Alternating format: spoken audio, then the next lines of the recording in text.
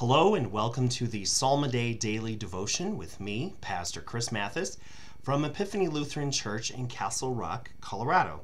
Today our psalm is Psalm 145, which we will read in the English Standard Version. A song of praise of David. I will extol you, my God and King, and bless your name forever and ever.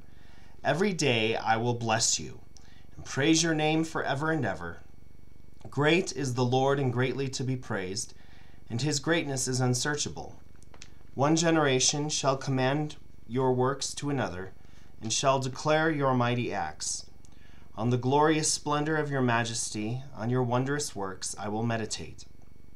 They shall speak of the might of your awesome deeds, and I will declare your greatness. They shall pour forth the fame of your abundant goodness and shall sing aloud of your righteousness. The Lord is gracious and merciful, slow to anger, and abounding in steadfast love. The Lord is good to all, and his mercy is over all that he has made. All your works shall give thanks to you, O Lord, and all your saints shall bless you. They shall speak of the glory of your kingdom and tell of your power, to make known to the children of man your mighty deeds and the glorious splendor of your kingdom. Your kingdom is an everlasting kingdom, and your dominion endures throughout all generations. The Lord is faithful in all his words, and kind in all his works. The Lord upholds all who are falling, and raises up all who are bowed down. The eyes of all look to you, and you give them their food in due season. You open your hand and satisfy the desire of every living thing.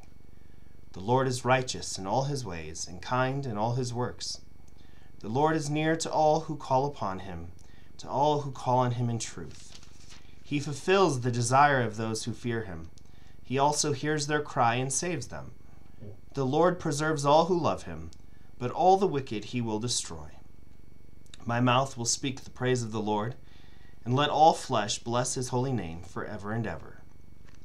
Glory be to the Father and to the Son, and to the Holy Spirit, as it was in the beginning, is now, and will be forever. Amen. This psalm is a wonderful meditation on the first article of the Apostles' Creed. Or rather, the first article of the Apostles' Creed would be a great meditation on the ideas communicated here, by which we see God's hand of preservation and protection upon all his creation. Like verse 20, the Lord preserves all who love him. And then we hear of the way in which it says in verse 14, he upholds all who are falling. Um, how he gives people food at the proper time and in the right season and satisfies the desire of every living thing. Not just people, but also the trees and the animals and other plants not just Christian people, but all people. The eyes of all look to thee, O Lord, and thou givest them meat in due season.